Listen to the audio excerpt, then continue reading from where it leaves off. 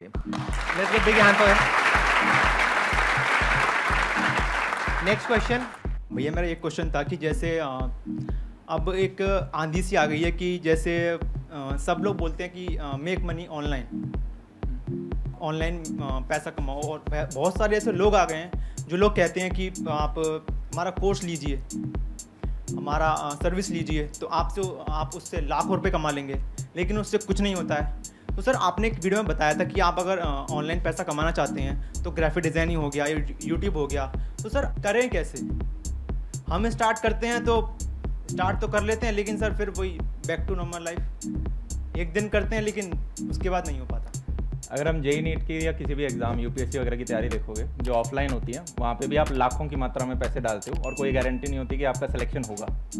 यहाँ पे भी आप ऑनलाइन चाहे ग्राफिक डिज़ाइनिंग हो एनिमेशन हो या डिजिटल मार्केटिंग हो, कोई भी कोर्स हो, बस ये फ़र्क है कि वो तीन लाख का कोर्स हो सकता है यहाँ पे तीन सौ रुपये में आपको मिल रहा हो या फ्री मिल रहा हो यूट्यूब पर अगर आप स्पेशली देख रहे हो। तो पर वो जो कितने लोग कर पा रहे होंगे, वो हमेशा वन परसेंट रहेगा।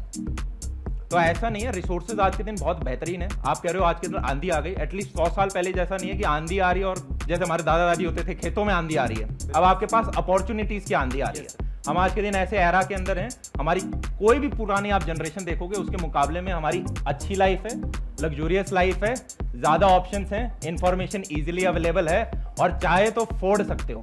आया ना? यस सर तो हमें एक्सक्यूजेज नहीं बनाने। इस पॉइंट पे मैं भी कुछ ऐड करना चाहूँगा। बेसिकली प्रॉब्लम क्या होती है कि जब कोई कन्वेंशनल करियर पाथ हम चुनते हैं तो हमको क्लियर पता होता है कि इतने साल लगेंगे इतनी हमको तैयारी करनी है इस एग्ज़ाम को क्रैक करना है फिर यहाँ जाना है फिर ये करना है फिर वो करना है। मतलब अगले चार पाँच साल का पूरा पाथ हमारा तैयार होता है। यहाँ पे प्रॉब्लम क्या होती है? जो ऑफबीट करियर्स होते हैं जैसे यूट्यूब हो गया या ऑनलाइन कुछ करने का हो गया या अपना स्टार्टअप हो गया वहाँ पे हम आज शुरू करते हैं। मानो यूट्यूब पे आज आपने वीडियो डाली आप कह रहे हो कल देख करके रिव्यूज़ तो आ नहीं रहे. ऐसे वहाँ तो नहीं करते जब कॉलेज में जाते हो। तो आपको पहले प्रैक्टिकली समझना पड़ेगा कि जो ऑफबीट करियर्स हैं वहाँ पे भी टाइम लगता है। वहाँ पर कोई जादू नहीं है।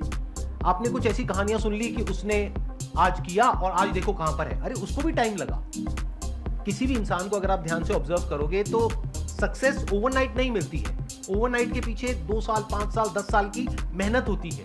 एक पूरा बेस बनता है फाउंडेशन बनती है, तब जाके रिज़ल्ट आता है। तो अगर आप अपने माइंड में इस पॉइंट को क्लियर कर लेते हो कि मैं ये काम करने वाला हूँ, इसमें दो साल लगेंगे, तीन साल लगेंगे, चार साल लगेंगे, और मेरे को कॉन्स्टेंटली पिवट करना होगा अलग अलग तरीके से चीज़ों को करना होगा इनोवेट करना होगा, तब आपको उसमें सक्सेस मिल सकती है। 99.99 परसेंट लोग जो फेल हो जाते हैं ना ऐसी जगहों पे, वो यही है कि उनकी एक्सपेक्टेशन ही गलत है। They are not based upon reality वो क्या सोचते हैं, आज हमने शुरू किया, पंद्रह दिन किया, बीस दिन किया, एक महीना किया, अरे इसमें कुछ नहीं पड़ा है। कॉलेज में ऐसे करते हो क्या?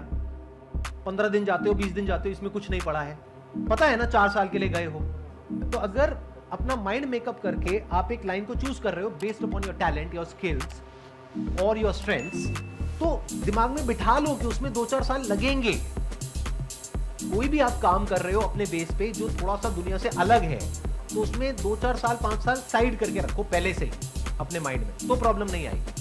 I hope that answers your